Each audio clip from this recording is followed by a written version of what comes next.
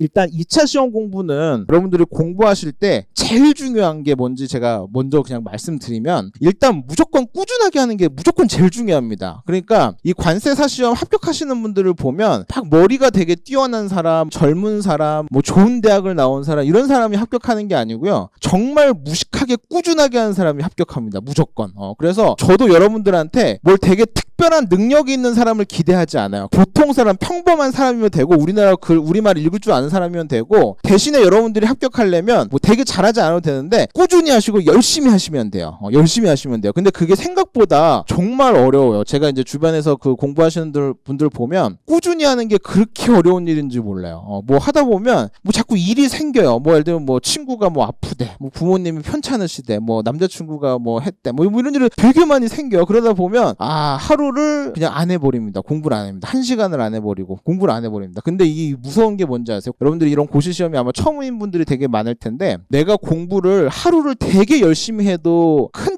티가 안 나고요. 하루를 놀아도 큰 티가 안 나요. 그게 당장 티가 안 나요. 근데 이렇게 한 번 빠지고 두 번 빠지고 하다 보면 와르르 무너져서 며칠 쉬어버리고 이래버리면 2차 수험을 공부를 제대로 할 수가 없어요. 그러니까 제가 이제 많이 예를 그 비유를 드는 게 마라톤에다 예를 드는데 일주일짜리 뭐 자격증 시험을 본다 그러면 한 일주일 막 밤새 공부해버리면 되잖아요. 그러면 이제 그건 이제 스프린트 단거리 시험인 거고 관세사 시험은 적어도 이제 1년 이상 우리가 공부를 해야 되거든요. 그러면 누가 마라톤 뛸 때 막 미친 듯이 뛰었다가 좀 쉬었다가 그렇게 안 하잖아요. 안 멈추고 계속 뛰는 게 무조건 승자입니다. 어, 근데 여러분들 주변에는 그렇게 쉬시는 사람들이 많을 거예요. 무슨 불가피한 사유 때문에. 그런데 여러분들 그거 보시면서 아 나는 꾸준히 하고 있구나. 그럼 여러분들이 최종적으로 무조건 승리를 합니다. 그래서 대단한 능력 필요 없고 꾸준히 하세요. 어, 예를 들면 오늘 여기 계신 분들은 이제 형강 들으시려고 한 거잖아요. 그죠? 그러면 뭐 물론 뭐 사정이 있어서 나중에 인강으로 돌리거나 그러실 수도 있겠지만 오늘 마음 먹으셨으면 오늘 첫 개강 날이잖아요. 그죠? 그러면 마지막 종강 날까지 한 번도 안 빠 지고 무슨 일이 있어도 꼭 와서 공부하세요. 뭐 여기서 대단한 걸 안 하더라도 그냥 계속 꾸준히 하세요. 그러면 여러분들 공부 방법도 마찬가지인데